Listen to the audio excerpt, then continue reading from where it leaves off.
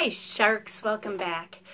Today I'm going to be opening a couple things. Actually, no, I'm only going to open one thing on this video and then I'm going to open another thing on another video. I got two things in the mail today. Um, this is, I believe, something I've been waiting to show. Um, oh, I'm so sorry. I forgot your name, your username. I got a migraine. Uh, I'm not thinking well today. But anyway, somebody was telling me recently that she um, said that she was at a river like like I was and that she saw this beautiful scene and thought it would be a wonderful thing to paint. And she got overwhelmed by the amount of scenery because it all looked so beautiful and it's like where do you begin? So many of us have that problem with that where do you begin thing. You remember me showing you this plastic viewfinder? It's called the view catcher um, it looks like this. Has a little circle in the middle so that you can check the value of color and see if it matches middle gray or not. This is mid gray. And then it has little markings on the sides. Um, 8 by 12, 9 by 12, and 11 by 14 are on one side. And then 8 by 10 and 12 by 16 are on the other side. And you can just figure out what composition would look good with your size paper. But it's such a small area that you can still kind of see everything around it. And you want to get that tunnel vision. And what I have done when I'm left without anything in the field is I do this. And I try to close off the sides of things around me. Or I do this. It's not a square. You can do the whole square thing, but then again, you're going to lose. You can do this and try to cut off some of your your area that way. Um, but then I saw somebody online that had one of these. And I think that's what's in here. I hope that's what's in here. Because I've been wanting it. And I thought, oh my gosh, this is the best thing since sliced bread, you know? I mean, it's just, it's so nifty. And it's inexpensive. So, but they sure give you a I love how they give you these hundred dollar wine vouchers, but you have to spend 160 bucks on wine. Um, oh, I've got paint too. Well, we'll open that first. I forgot what I ordered. Oh, this is just my quinacridone magenta. I do have some other colors coming.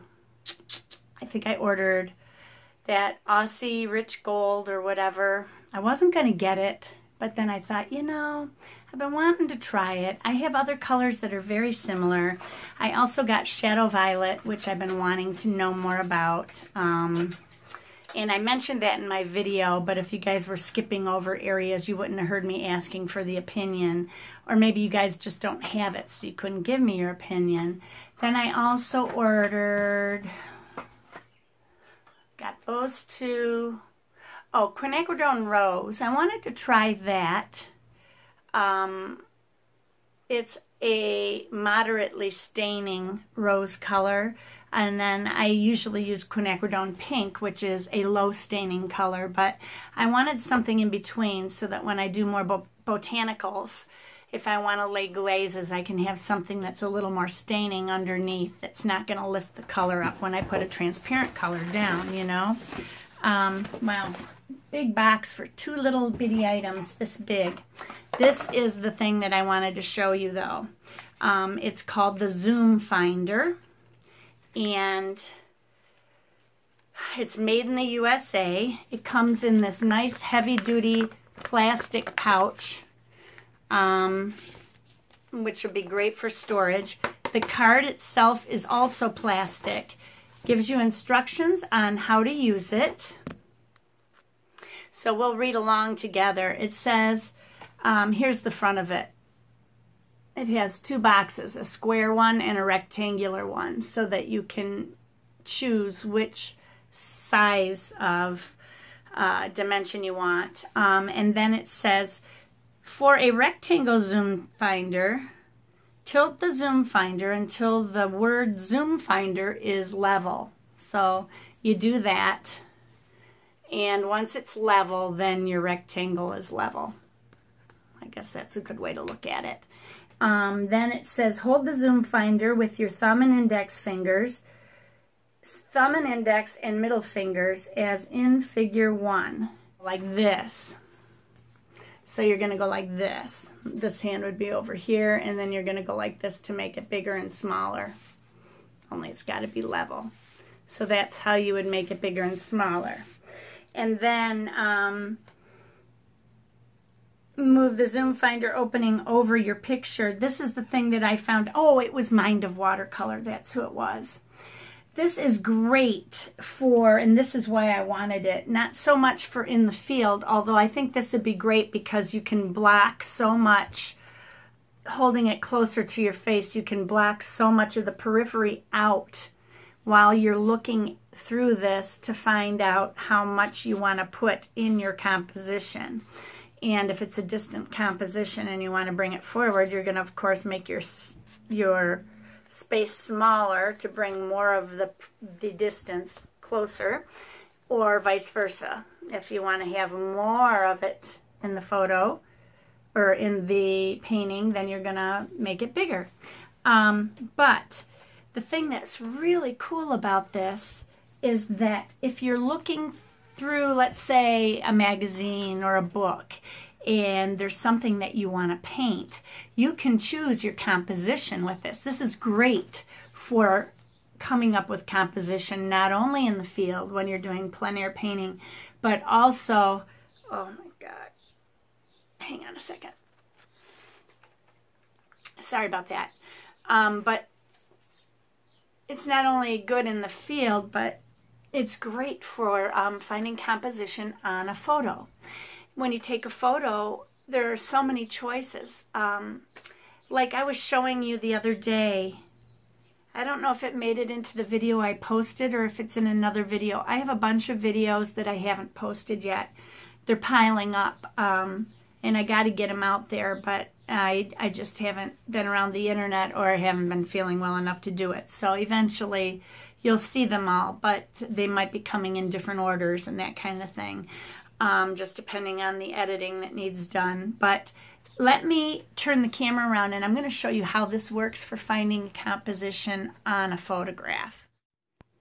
Okay, I just grabbed a book off of my um, bookshelf and I think I can find some photos in this that will work for this. But you can do this on your monitor, on your computer screen or an iPad um, or whatever um, is big enough. You might even be able to do it on your phone by going really small with these. Yeah, you could. You could narrow your focus down really itty bitty if you want to. But um, anyway, uh, here we go. Perfect.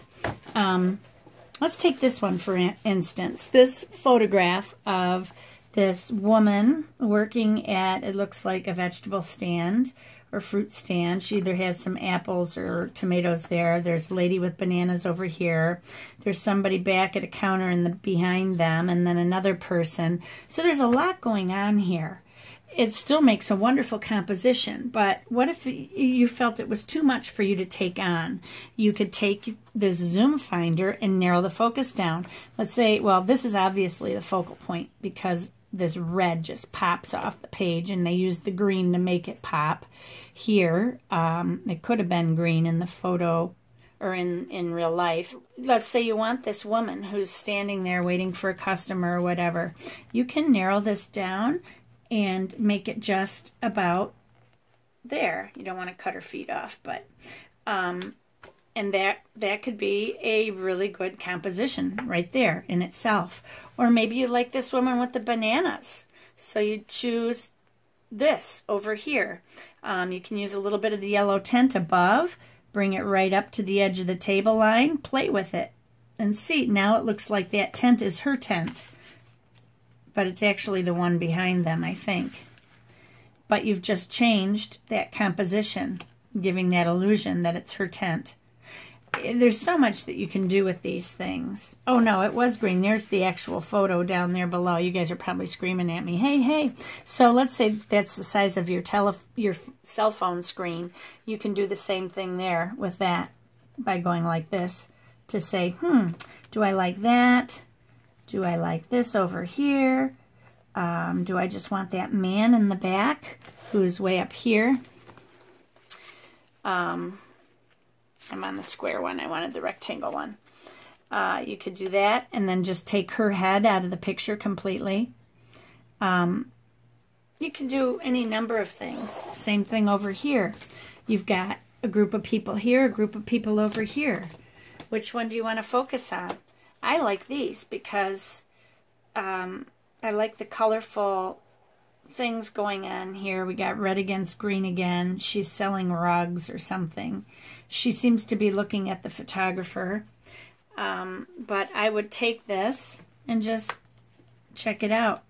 See what it is I like about each one of these things. I like that. I like that. I also like adding the tent in for a little extra.